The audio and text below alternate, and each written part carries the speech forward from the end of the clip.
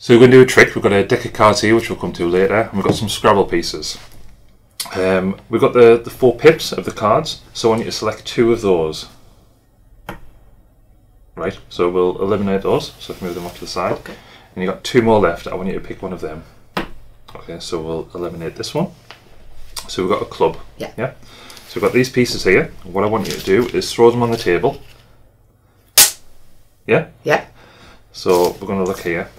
Then all of the face up ones, Yeah. we're going to leave. We're going to eliminate all the face down Or ones. anything that's facing down. Yeah. Yeah, so move them out to the side, yeah? Yeah. Okay. And again, pick up the remaining pieces and throw it again. And the plan is, we should be thrown so many times that we'll be left with just one. Just one picture. Yeah. And what we're doing? So the face down ones, we eliminate them. Eliminating them face down. Oh dear, that wasn't the best roll, was it really? It may take a couple of times till we get to the last two or three, and then obviously we'll dwindle it down there. down away. Yeah, face down ones get rid of. Oh, yeah. Oh, we're getting there. We're only on four left. oh, that was a rubbish. Rubbish. Rubbish. Uh huh. Yeah, Uh, face down, down, on. Yeah. away.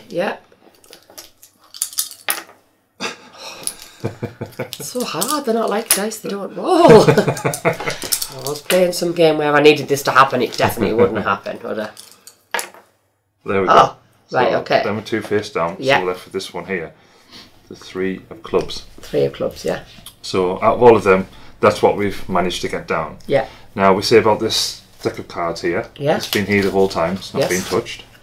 Now in here, there's a whole bunch of cards. There's one card which is actually turned the other way. Do you want to take it out and see what it is? It's the three clubs.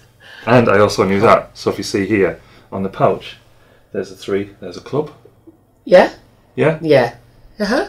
Well, it could be any of them, but then obviously on the back I've got a big three of clubs.